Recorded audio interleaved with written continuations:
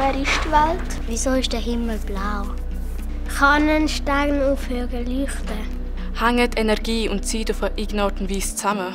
Wie kann die Sonne scheinen? Was passiert, wenn ich das Brot immer weiter schneide? Ist dann weg? We always uh, encounter the fact that very basic things that we thought are clear turn out to be an, an illusion and makes part of the fascination for physics. That even our daily experience is not really completely understood.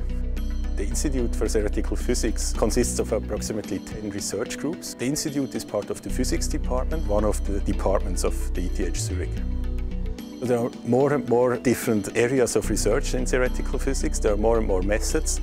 And the Institute for Theoretical Physics tries to bring them all under one roof and tries to make sure that people communicate and exchange ideas. We are doing research in very different areas. It starts, for example, from the very small scale. There are, for example, particle physics. There's also condensed matter physics, and it goes up to very large scales. There is string theory.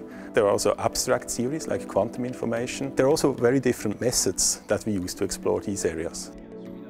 Theoretical physics methods like mathematical and analytic methods, but we have also modern methods, numerical methods, computational physics, and we have also information theoretic methods that are motivated by computer science. This is a very new aspect that we have now very different methods coming from very different disciplines that we try to combine and use to solve the big questions.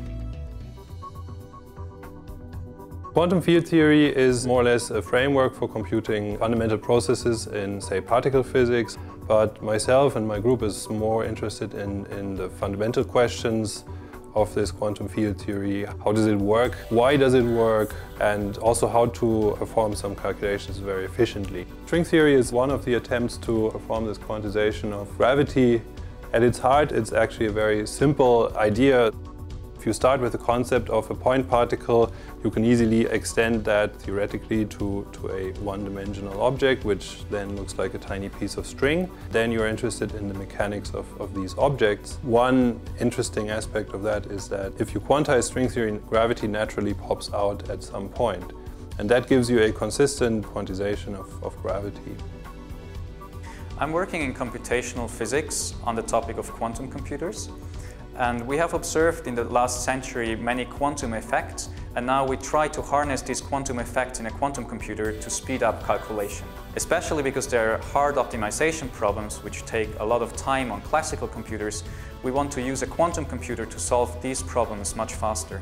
General quantum computers don't exist yet, but there are special quantum computers for specific types of optimization problems, and these exist already. There is a Canadian company that sells these machines already, and they cost between 10 and 50 million. Not available for everyone and only for a specific optimization problem. We try to figure out for which specific problems a quantum annealer would actually be faster than a classical computer. I perform simulations to see if one of the technologies will be winning in future against the other. Some of our research is kind of a little bit apart from an immediate experiment, but there's also research which connects to particular experiments. I've started working on something called artificial systems. So we look at strong interactions between light and matter. The interesting thing about where we are now in condensed matter is that it is driven by new developments in experimental physics where people fabricate artificial materials.